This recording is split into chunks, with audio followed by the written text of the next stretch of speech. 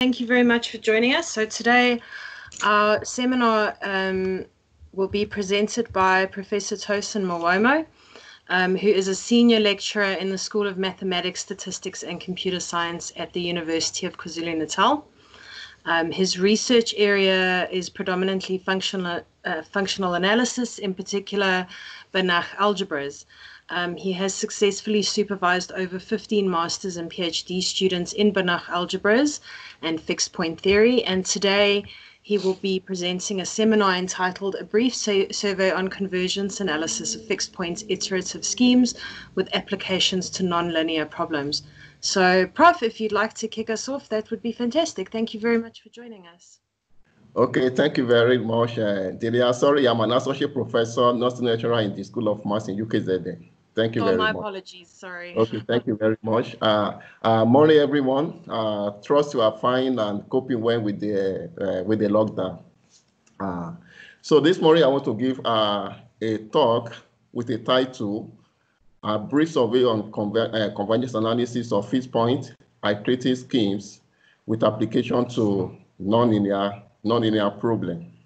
Uh, I will start first by acknowledging uh, the invitation and the opportunity, and in particular the support from CoE-MaSS seminar series. Eight of my PhD students are fully funded by CoE-MaSS, doctoral funding to date, of which five have completed their PhD in the last five, years. Uh, three of them are about to complete, and uh, my current postdoc student is partially funded by COE and uh, NRF postdoc funding. So this funding is greatly appreciated and uh, acknowledged. So the slide of my study, uh, the outline of my uh, presentation is as follows. So I will start by uh, with uh, the first section talking about iterative schemes. So why do we study iterative schemes?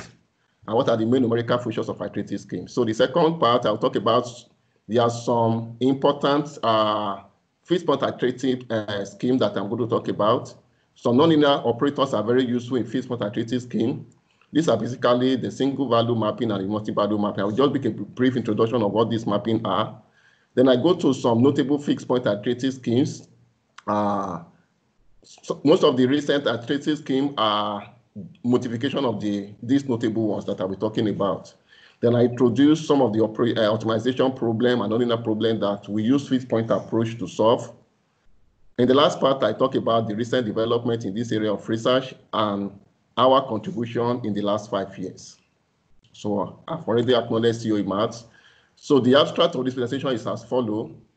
In this presentation, we just give a brief introduction to some notable fixed point iterative schemes and their convergence analysis in some important spaces, particularly Hilbert space, Banach space, uh, complete cat zero space, which we call the Hadamard space. In particular, we show how iterative scheme can produce approximate solution to certain classes of nonlinear problems, fit point problem for some nonlinear operators, and zeros of maximum zero point of maximum monotone operators. So I go to the first section of this talk. So why iterative schemes? The reason are clearly stated on the screen. Why did we study iterative scheme? Number one, they are almost everywhere in computational mathematics. They can produce approximate solutions to certain classes of nonlinear and optimization problems. We can use iterative uh, uh, scheme to find the fixed point of certain nonlinear operators, which I'm going to show you in this talk. We can use fixed point theory to obtain the solution, basically approximate solution of constraint optimization problems. Design algorithm for signal and image processing. We can use it to find the zeros of complex polynomials and so on. So what are the numerical features of uh, iterative uh, scheme? Number one, they are they number one is the compatibility, meaning that we can always find the convergence of those uh, iterative scheme. And we can also implement it in the sense that we can write, use some software package like MATLAB to write some code and run it with concrete data and reach the solution, the approximate solution that we want. Basically, most of the solution in fixed point theory are approximate solution. They are not exact. So another features of numerical features is the rate of convergence. So we can determine the speed or the error estimate of the iterative scheme. And the third one is the stability. Uh, the second section is this is just to give some a big introduction to some of the uh, nonlinear maps that uh, we use in fixed point theory. These are basically divided into single value uh, map and the multi-value map. So I've just spent a few minutes to just introduce some of this map, which basically, basically used in fixed point theory. Uh, the first one is single value operators or mapping.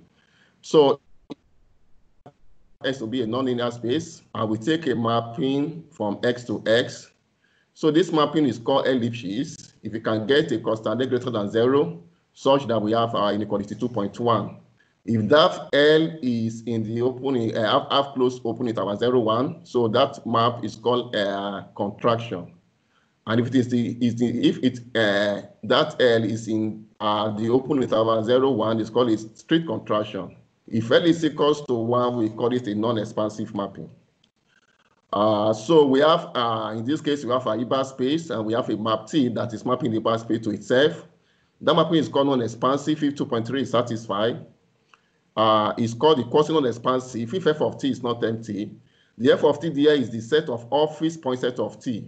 That is the set of x in H such that t of x is equals to x. So s in H is called a fixed point of t if t of s is equals to x.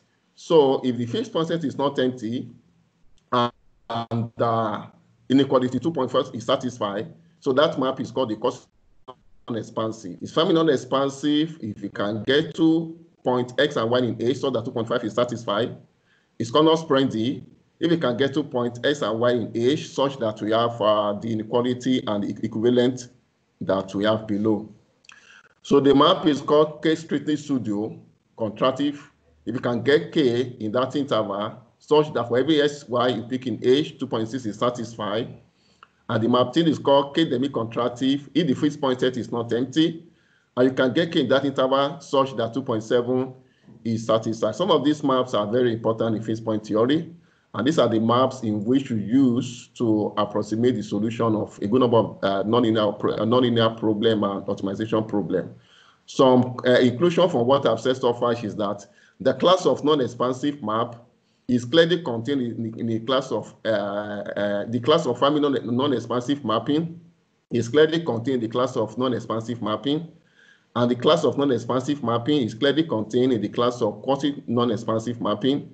And the class of quasi-non-expansive mapping is clearly contained in the class of K-strictly pseudo-contractive mapping. We have the other uh, inclusion. So still with single value mapping, so we have T to map a nonlinear space, to map Ibana space, uh, Ibana space H to itself. So T is called monotone if the relationship 2.8 is satisfied is called alpha strongly monotone. If you can get alpha greater than zero, such that 2.9 is satisfied. It's called beta inverse strongly monotone. If you can get a beta greater than zero, such that relation to inequality 2.10 is satisfied. And it's called firmly uh, non-expansive if uh, beta is equal to 1 for beta uh, strong inverse strongly monotone.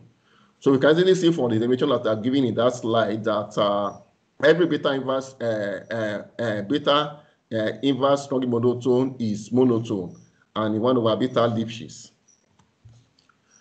So there are some other important operators that we use in point iterative scheme. One of them is called the metric projection operator. So in this case, we have a Hilbert space H. We have C to be a non-empty closed subset, subset of H. For every point, uh, so the metric projection is just a map that maps the bar space to C such that for every x to fit in H, you can always get a unique nearest point in C, which are denoted by PC of S, such that inequality 2.11 is satisfied. Now I give a useful characteristic of metric projection, which you also use in fixed point theory, and that is what I put in my uh, in in inequality 2.2.12. Uh, so the metric projection is clearly a firmly non-expansive map. So another useful important operator that we use in fixed mode iterative scheme is what I call the proximal operator. So the proximal operator is defined, you have a mapping F, it's mapping H to the extended real line. So you extend the real line by uh, from the from the right hand side by positive infinity. So the map is proper, is convex, and lower semi-continuous. So the proximal operator of F with respect to that parameter gamma is defined as uh, uh, what we have on the slide. I've tried to put uh, what the argmin F is all about. The argmin F is just the set of all minimizers of, of the mapping F. So the argmin f is the set of s in H, so the type of s is also equals to f of y for every y in H. So let's talk about the set of all the minimizers of that uh, of that function f. So I also give an, an, uh, an important very useful property of the of the proximal operator, which we use in point iterative scheme. All this will play a role as we go along in the study. So the another set of map we use in fixed point theory are multi-value multi operators. Multi-value operators. So in this case, we have uh, I want to define some of the maps multi-value operators that we use in fixed point iterative scheme. So we have a mapping M that map a Hilbert space to the set of and uh, to the power set of X. 2 raised to the power h is the power set of S, which is the set of all subsets of H. So that map M is common monotone. If you pick Sy in H, you pick X to be an element in M of X, and V in, in eh, M of Y such that the inequality 2.13 is satisfied. So the multi-value map in H that is monotone is said to be proper if the graph of that map is not properly contained in the graph of any other monotone mapping.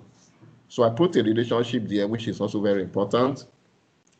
Now, in this case, I just want to define what I call by CB of X. Let me define CB of X before I go back to the, pre to the, to the preceding slide.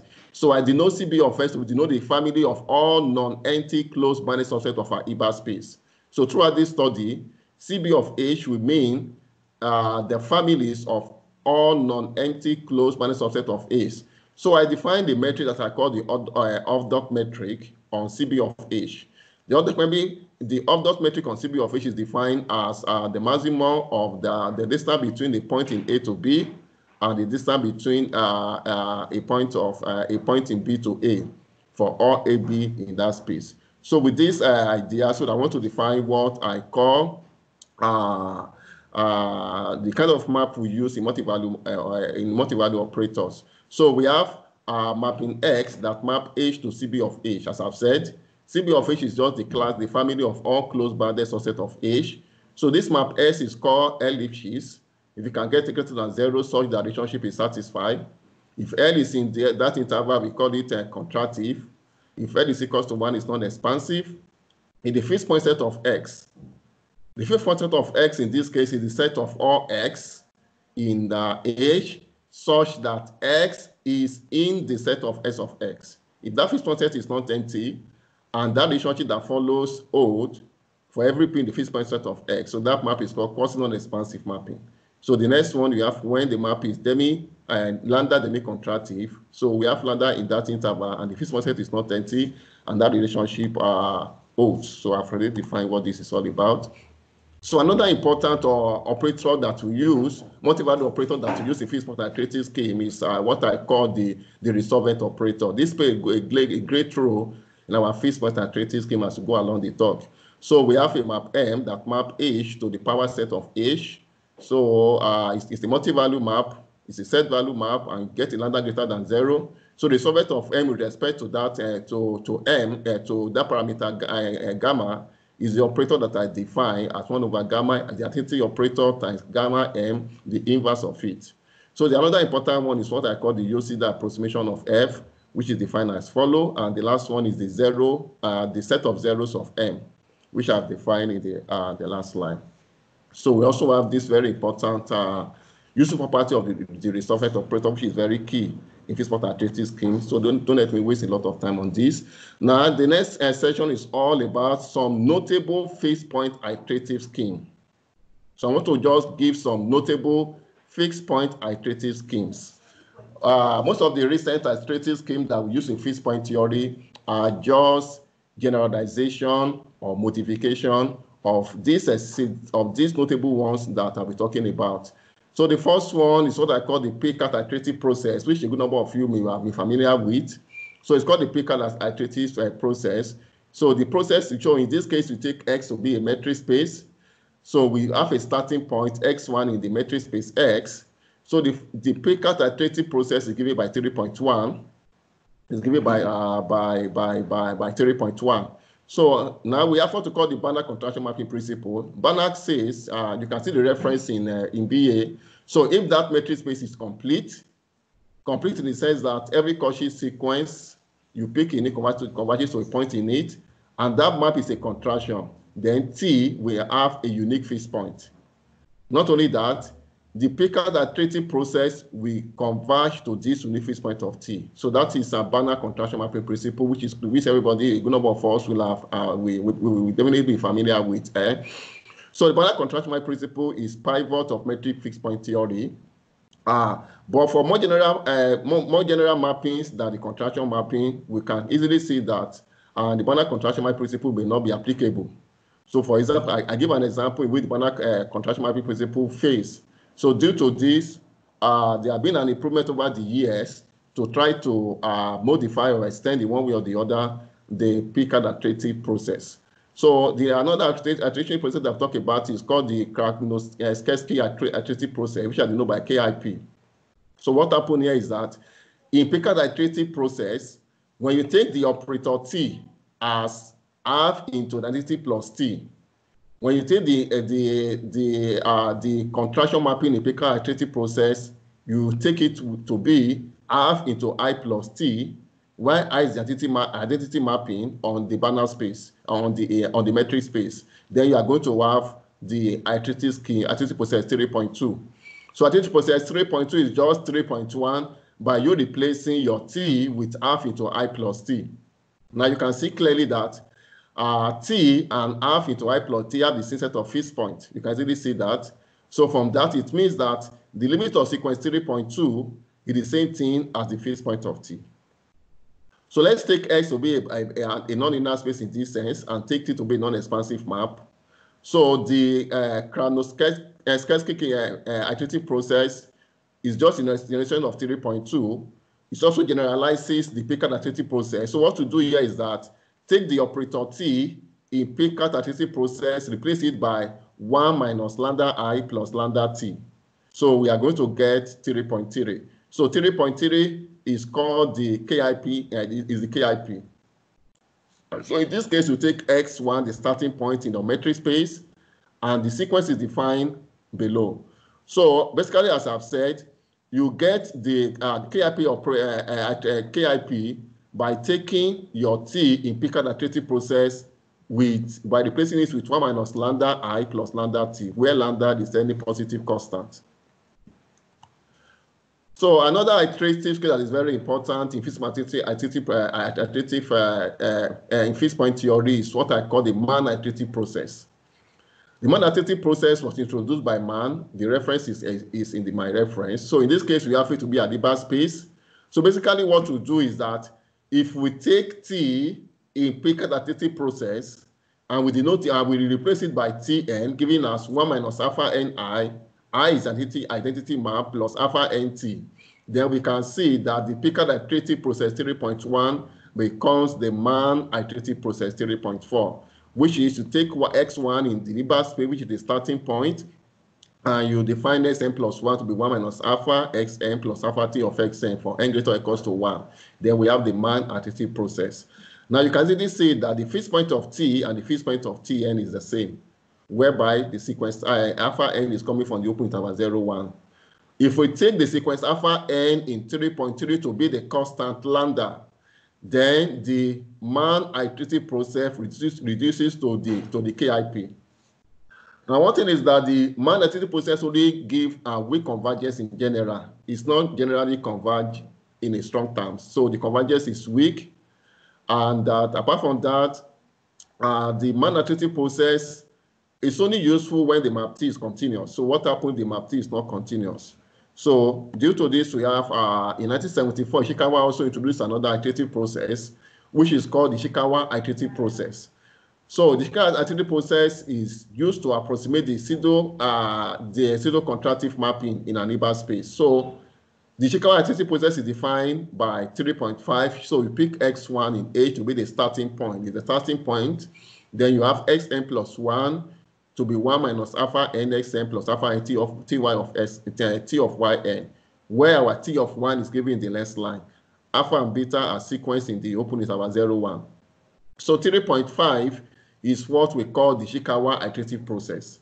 Now, if your beta n in 3.5 is just 0, Then the Ishikawa iterative process reduces to the Mann iterative process. You can see the connection between this iterative process. It's just generalizing the existing one. So when you take a beta n to be equal to zero in 3.5, then the Ishikawa iterative process reduces to the Mann iterative process. You can easily see that. So another important uh, useful iterative process is what I call the, the, the, the S iterative process. The S iterative process was introduced by Gawa and Tor in 2007 so in this case, we pick S1 in the space at the starting point. So we define Xn plus 1 and also define in terms of Yn and also define Yn, Yn in terms of Xn, where the two uh, sequences alpha and beta are from the open interval 0, 1. So the remark there is that the x process is independent of Mann and Ishikawa and has a better convergence rate than Ishikawa and the Mann iterative process. So the reference is clearly there. So uh, we need to know that in general, the Picard iterative process that have this, they are, that have introduced in 3.1, the Mann in 3.3, the Shikawa in 3.4, and the S iterative process in 3.5 only converge weakly. None of them converge in a strong, uh, in, none of them have a strong convergence. So they only converge weakly. So however, we need to know that in an infinite dimensional space, strong convergence are more desirable and interesting than weak convergence. For this reason and many, uh, many other, Apan introduced another iterative algorithm, iterative scheme, which converges strongly to a fixed point of a non-expansive map in Hilbert space. So this case time around, instead of getting a weak convergence as we have in Man, in Ishikawa and Co., so the iterative process of Apan converges which, which is more useful than those of Ishikawa and Co. So the Apan iterative process is given in 3.7. So we have, in this case, we have two starting points. We have U and XY to be the two starting points in H. And the sequence is defined as Sn plus 1 equals to alpha Nu plus 1 minus alpha Nt of Sn, where the sequence alpha n is in the open interval, uh, close interval 0, 1. Uh, is in the close interval 0, 1. So another important generation of the of the uh, upper iterative process is what I call the viscosity iterative process. And this one is given by uh, in Hilbert space. So you can see that there's a difference, there's a connection between the Halpern and, and, and the viscosity iterative process.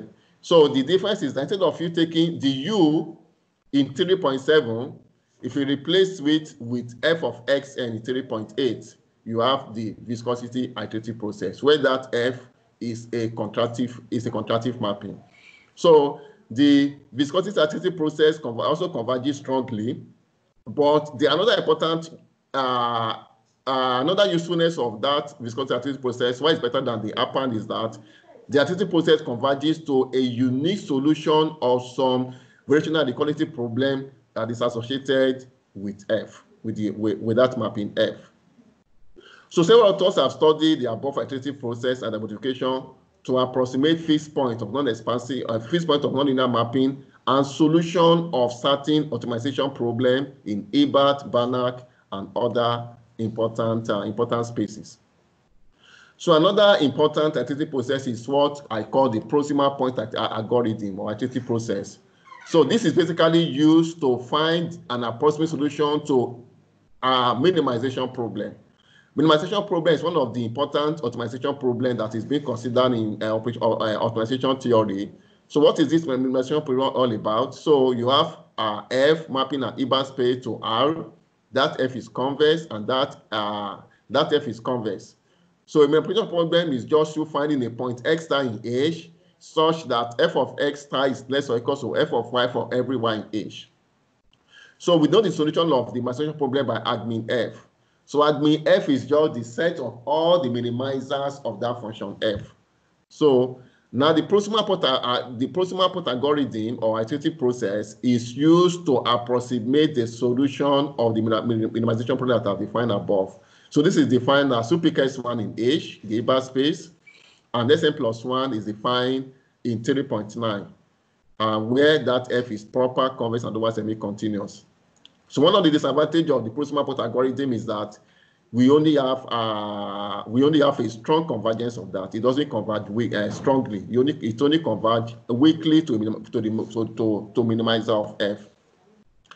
And now Rockafellar some years back raised the following question: Does uh, does PPA converge strongly or not? So this question stay around for a good number of years before uh, Güler, some years back, constructed the counter example to show that the proximal algorithm does not necessarily converge strongly.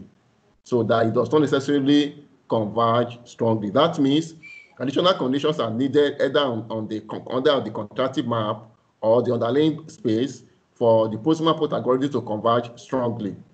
And we also have some other results uh, on proximal uh, on the proximal point algorithm, trying to change the maps and they're trying to work, put some structure on the space in such a way that the proximal point algorithm will converge strongly.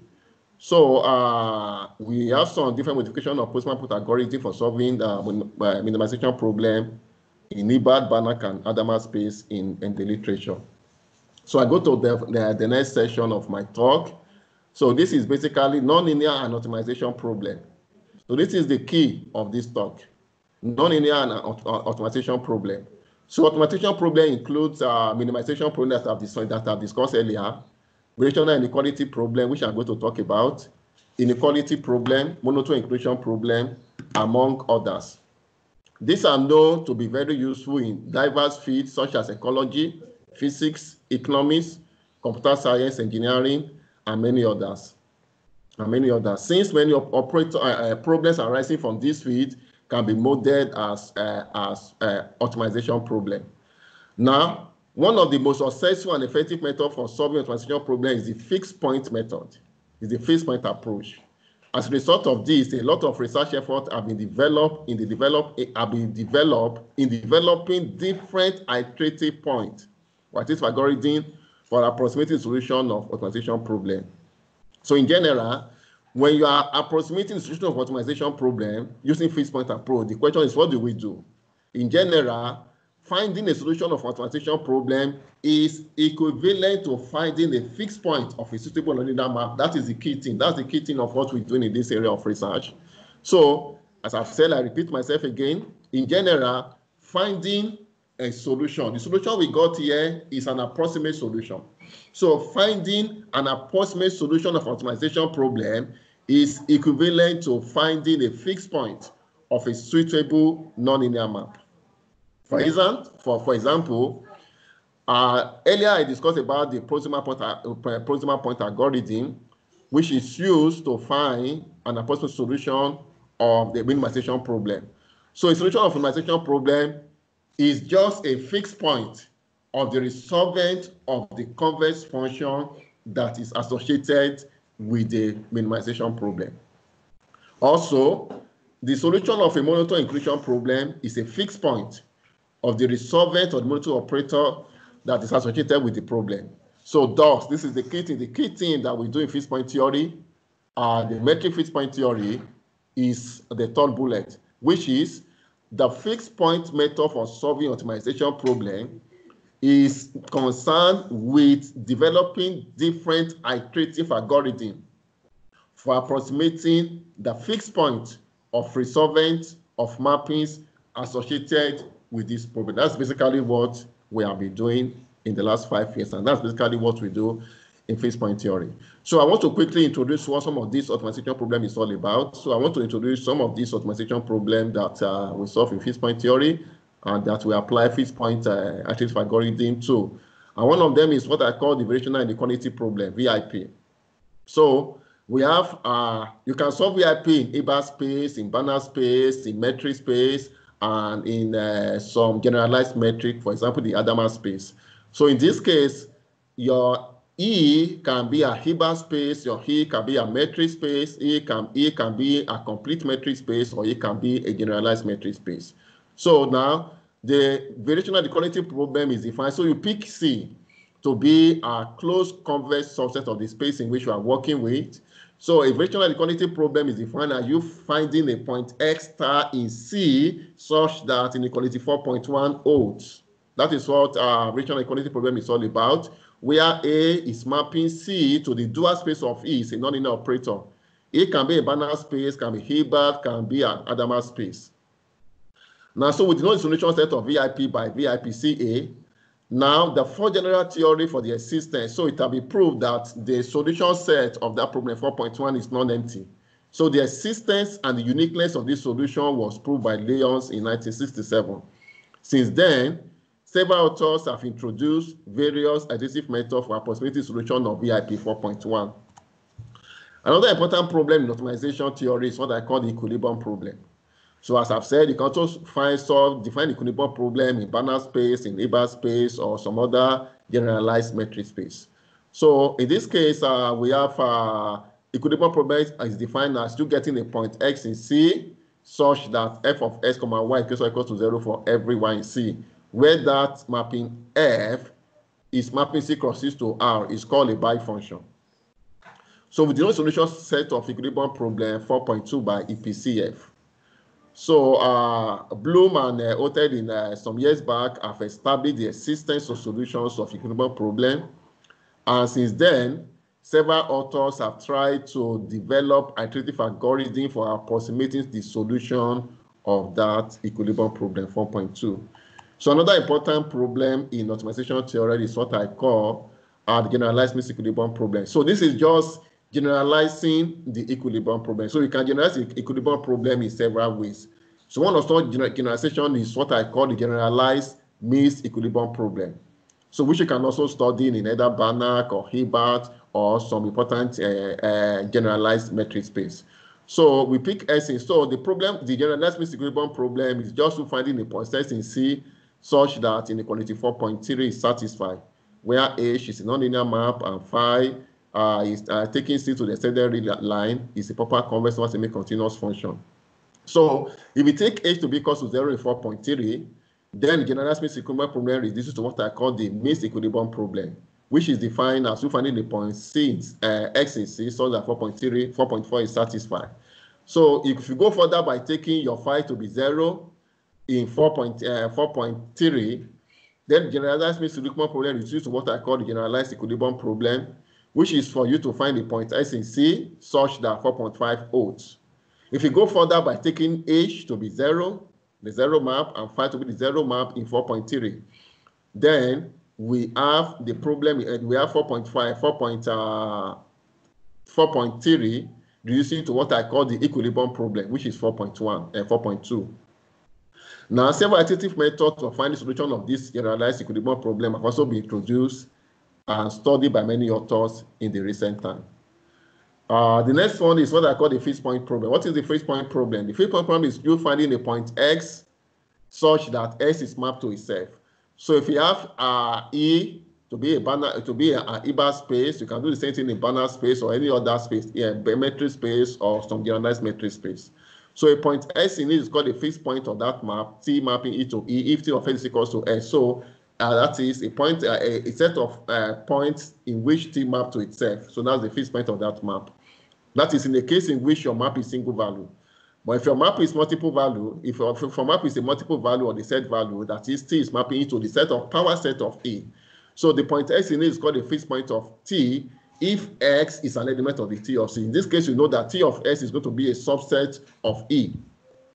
So throughout, we denote the set of fixed point set of T to be F of T in general, the fixed point problem is just the is just a problem of finding the fixed point of a nonlinear map. In general, finding a solution of optimization problem is equivalent to solving fixed point problem. That is the connection. There's a connection between the fixed point problem and all the optimization problem that I have earlier introduced or discussed.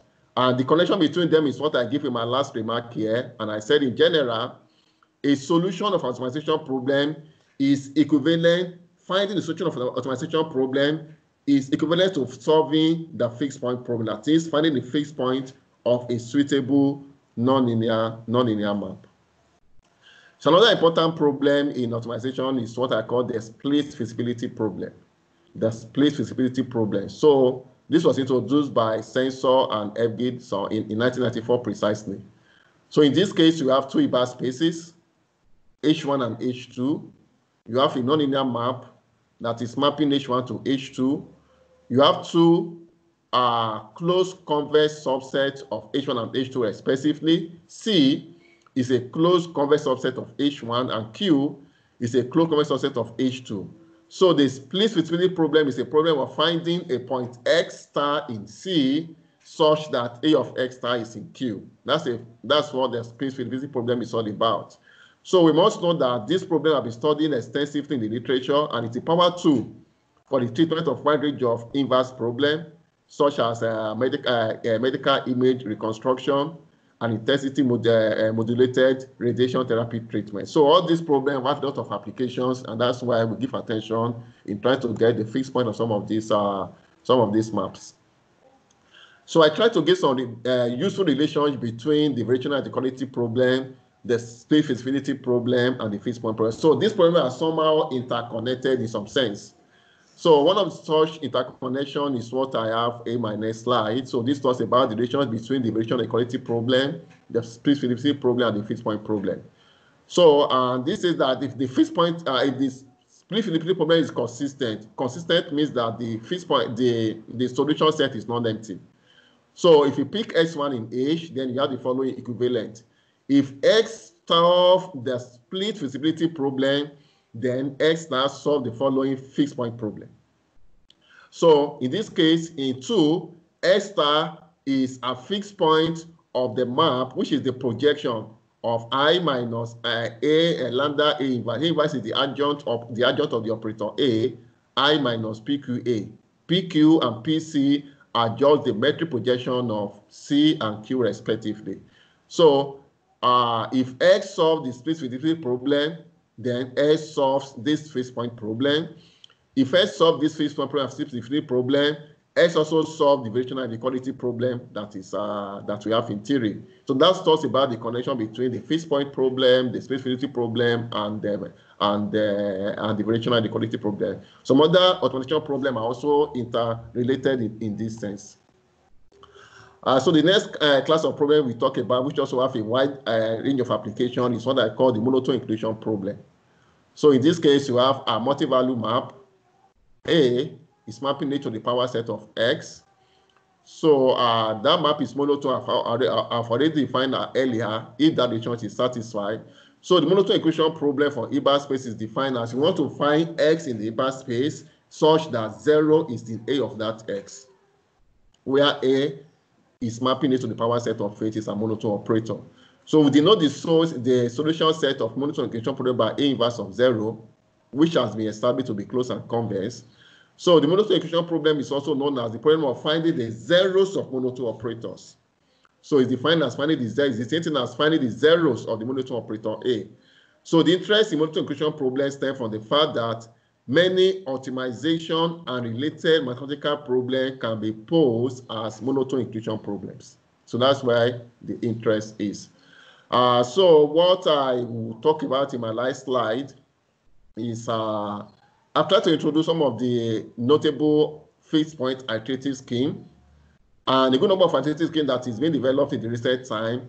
And one or two is just uh, just modification of some of the old and existing fixed point iterative problem. We try to modify in such a way to have a better convergence and to make sure that instead of having strong uh, weak convergence, we get a strong convergence and, and we can easily, uh, uh, the artist program is uh, easily applicable. So I want to talk about some of the recent results in this direction. In the recent times, several authors have studied the above iterative processes and their modification. That's the key thing. And their modification, it has been modified in several ways to approximate the fixed point of nonlinear maps and solutions of optimization problems in Hilbert, in Banach, and other important spaces. So that's basically what we're doing there. So that summarizes what I've been done in the recent years. So uh, as I've said earlier, solving optimization problem using the fixed point approach is equivalent to you finding a fixed point of an appropriate nonlinear map. And a lot of research is currently going on in this area uh, so this is an active area of research with numerous research articles in literature. And these articles are made, mostly published in some of these uh, reputable international journals. Number one of such is Journal of Fixed Point and Application. So that tells you the importance of this area of research. There are quite a number of journals that are specifically devoted to this area of research. I just list some of them here, and these are journals that specifically publish articles in this area of research. Number one of them is Journal of Fixed Point and Applications.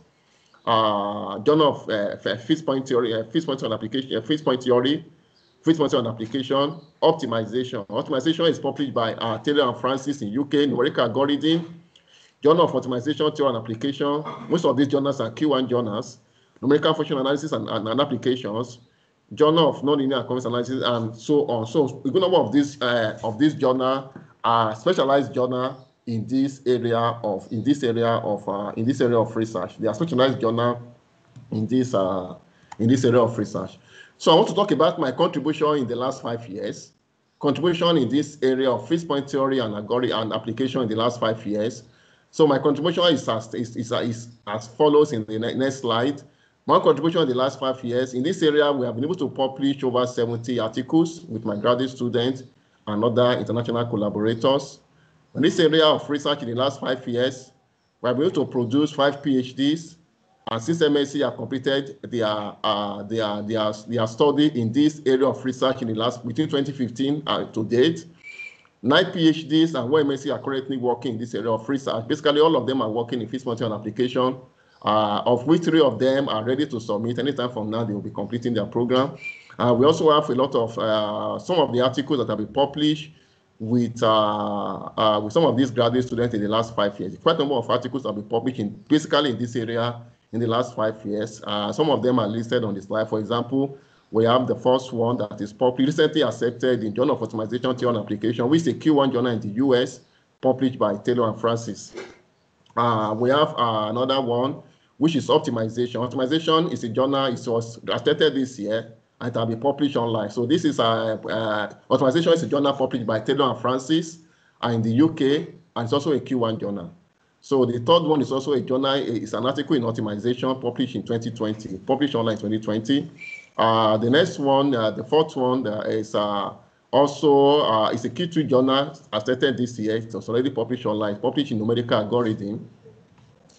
Uh, so we have uh, the next one is uh, published in Journal of Computer, Computational Applied Maths, published in 2020. Uh, we have the next one. This is published in a journal in Italy. That's uh, Rendiconti.